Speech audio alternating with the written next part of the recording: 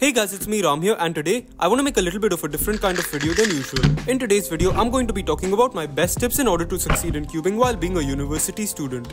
Recently, I've been getting quite a few questions from people asking me how I'm able to manage my time cubing while being a full-time university student. Obviously, cubing is a very practice-heavy hobby and as JPerm says, it, it is, is so easy to get rusty at cubing. However, in my first year of university, I was able to break my first two 2x2 Indian national records, become the 2023 New Zealand 2x2 champion, and practice enough, all while maintaining my studies. Now just to clarify, I'm not some academic genius and definitely not someone who gets straight A's. However, I like to think I'm above average. To be completely transparent with you guys, my grade average is roughly an A minus B plus and in my first year of uni, I got only A's and B's despite doing a major that is definitely on the harder side, data science. Anyway, with all of that being said, let's get on to my tips. The most important thing by far you can have is self-control. You need to know when it's important to stop cubing and need to be able to.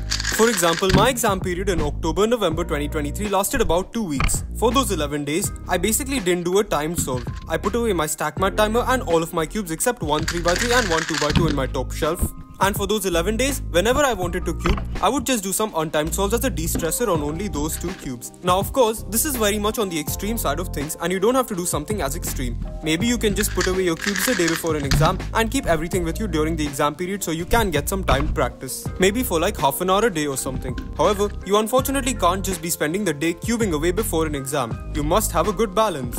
My second tip is you should know what competitions are really important for you to attend. If you live in a region where competitions happen every two weeks or something, it's probably not feasible for you to be able to attend every single competition, especially not during an important time like the exam period. For example, New Zealand's North Island Championship took place in my city, Auckland, just 20 minutes from where I live. However, I also had my discrete math exam the day after the final day of the competition. Therefore, I just skipped the competition and decided to study instead, which was definitely a good decision because I ended up getting an A plus on that paper. For me personally, the only type of competition I would not miss during an exam period is nationals and even then, only if it's in my city. Again, this is definitely on the extreme side and you can have more comps that you might prioritize over exam study, especially if you're better at cubing than me. But please don't go to every competition during exam period, especially if you get them very often. My final tip, I'm gonna end off at a more positive note, is to just not give up on cubing.